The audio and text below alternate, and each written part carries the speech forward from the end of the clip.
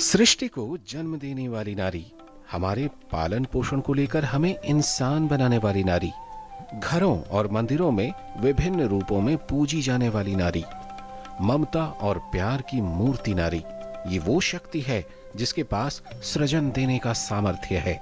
वो जब अपनी प्रतिभा को संवारती है तो सावित्री बाई फूले, सरोजनी नायडू, मदर टेरेसा, कल्पना चावला, लता मंगेशकर किरण बेदी जैसी हस्तियाँ बन जाती हैं। हमने जो आज़ादी प्राप्त की, उसमें भी Bhikaji Cama, doctor Annie Besant, Vijaya Lakshmi Pandit, Rajkumari Amrit Kaur, Sucheta Kripalani जैसी महिलाओं का भी बड़ा योगदान रहा।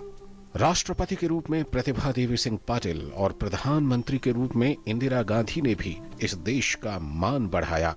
आज समाज के हरेक क्षेत्र में महिलाएँ बढ़ चढ़कर हिस्सा ले रही हैं।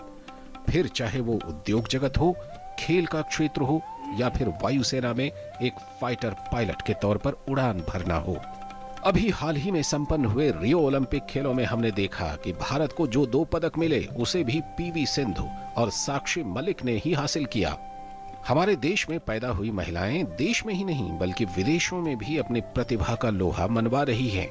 देश में महिलाओं का संपूर्ण विकास हो, इसके लिए केंद्र सरकार ढेरों योजनाएँ चला रही है।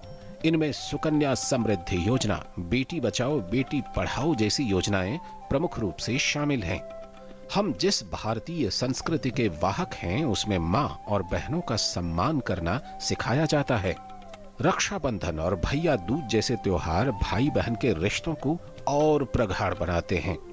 गृहणियाँ आज भी अपने बच्चों और परिवार का एक संरक्षक के तौर पर ख्याल रखती हैं। वैसे भी हमारी संस्कृति हमें नारी का सम्मान करना सिखाती है। हमारे यहाँ कहा जाता है कि जहाँ नारी की पूजा होती है, वहाँ संपन्नता आती है। आज बस ज़रूरत इस बात की है कि हम महिलाओं को और ज़्यादा से ज़्यादा मौके दें ताकि वे आए दिन नए कीर्तिमान स्थापित करती रहें।